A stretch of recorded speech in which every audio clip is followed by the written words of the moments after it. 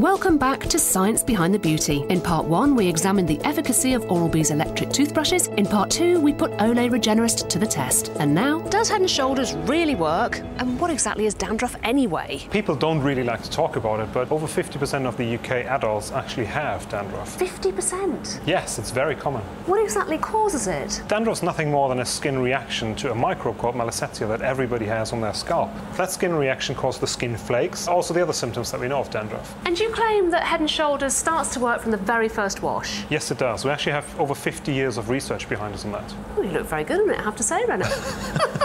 How does it work? Well, Head and Shoulders shampoo first cleans the hair and scalp by removing the oils that we all produce every day. Then the Hydrazinc formula. What's that? What's Uh, Hydrazinc? Okay, Hydrazinc's the technology that delivers the anti-dandruff benefits from the first wash. Then finally, we have care and conditioning ingredients in the product that really deliver softness and shine to the hair. I had no idea that so many people have dandruff. I went to the British Skin Foundation to find out what's going on with the nation's scalps. Well, people forget that the skin of the scalp, like the skin of the rest of the body, needs to be looked after. So, what you put onto your scalp and your hair can make a big difference to the health of it.